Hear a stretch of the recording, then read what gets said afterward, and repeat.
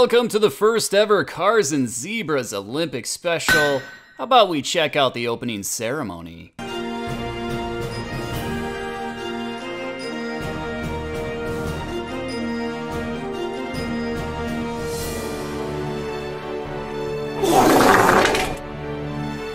With that, I present two cars both worthy of a gold medal, or maybe I'll just give them both participation trophies. 1969 Chevrolet Corvette L88.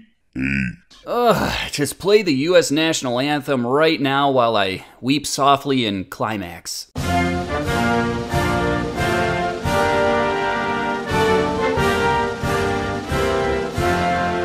It's got a 427 cubic inch V8 with a compression ratio of 12 to 1, and it was underrated at 430 horsepower at 5200 RPM and 460 pound feet of torque at 4,000 RPM. Bottom line, we are talking some serious American muscle. Oh, oh, no. Does it get more American than that? It does. Why don't I zoom in and show you guys a little bit more detail? Just as I suspected, he was full of pure America. No. Inside, you'll find a Turbo 400 3 speed automatic, so that should make launching this car fairly consistent. And check out that interior no heater, no radio. That's how they came from the factory. I mean, this is a serious car, you guys. No jokes necessary. Sorry. That wasn't a joke. I just had too much vanilla ice cream and Pop Tarts earlier today. Just like the rest of the car, out back, this thing isn't messing around. 456 gears, and that will definitely stab you to your seat. som kaster i sjette omgang. This car is light. With driver, it's only 3,454 pounds. I guess you could call it a ringer. Mmm, that's a really lazy joke. I guess I need to get back to training. It's bulking season, baby.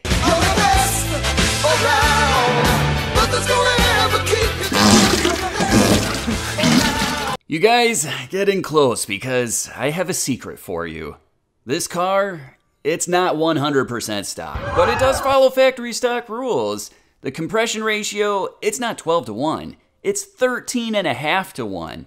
That 427, it's actually a 439. So this car makes a little bit more horsepower than stock. It was also very expensive. The Corvette Coupe started out at $4,781. The automatic transmission was 221 bucks, and the L88 package was $1,032.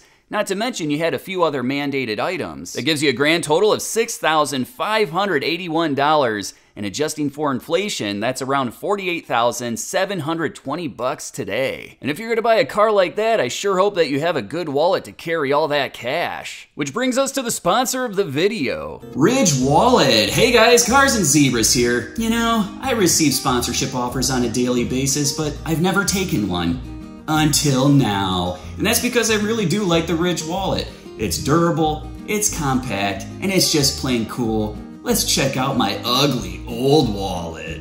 Ooh, it's so bulky and everything just falls out. How embarrassing you get to see this abundance of cash that I have. Here's the Ridge wallet. The cards go inside, the money clips to the outside, they don't fall out.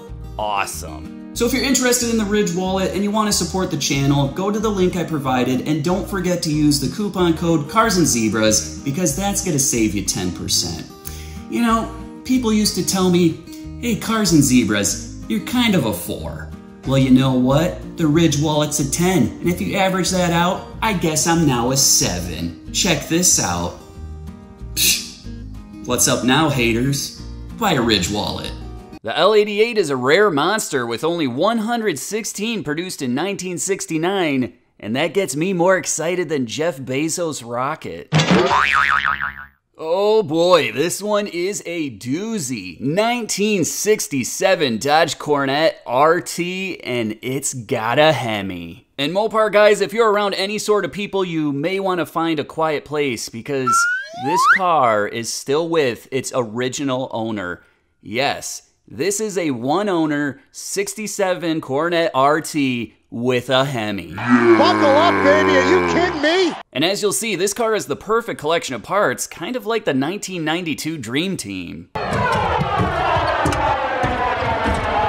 Yeah, suck it, everyone who isn't from the US. We beat you in basketball and diabetes, so what's up now? You ever eat a burger that uses donuts as a bun? I have. USA! USA! USA! As I already mentioned, this thing's got a 426 cubic inch Hemi V8. The factory compression ratio is 10 and a quarter to 1, but this one's been increased just a little bit, up to 11.75 to 1. Factory horsepower was rated at 425 at 5,000 RPM, but that was definitely underrated. Torque was coming in at 490 pound feet at 4,000 RPM. Bottom line, you better have a healthy heart if you want to bury that gas pedal because that Hemi is going to pound you right in the chest.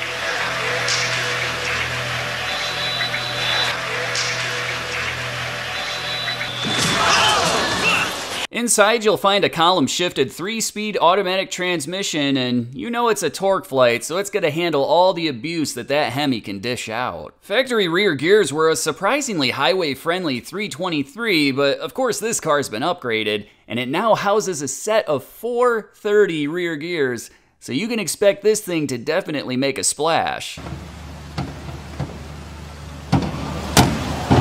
And then we get to the curb weight, which does not include the driver, and it's 3,726 pounds. And that gives over 300 pounds advantage to the Corvette. But you know what? The Dodge is probably a little bit more comfortable, and in fact, it's probably as relaxed as Michael Phelps after he smokes a fat blunt. And Michael Phelps is smoking some Maui Wowie on his way to another gold medal.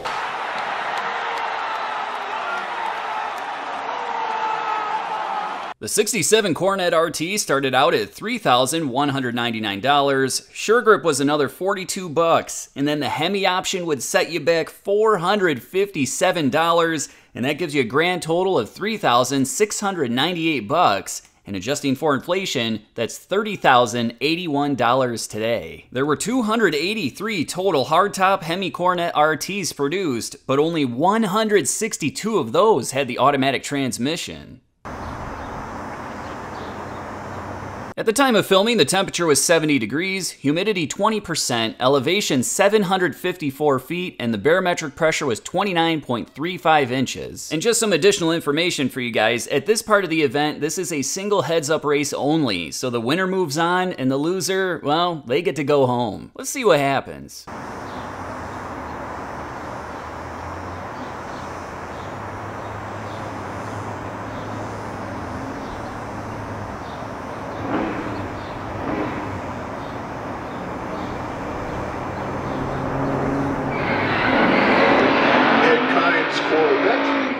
Jim Keys 67 RT.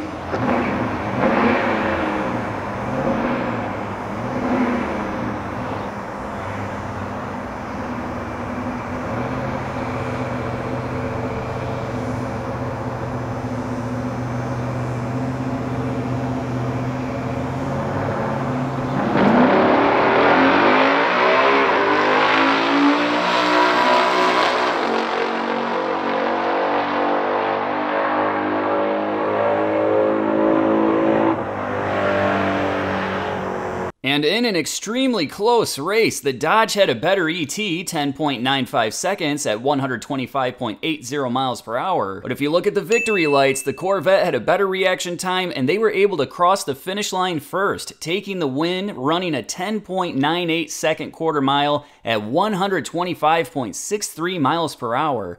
Let's check that out one more time. Jim Keys 67 RT.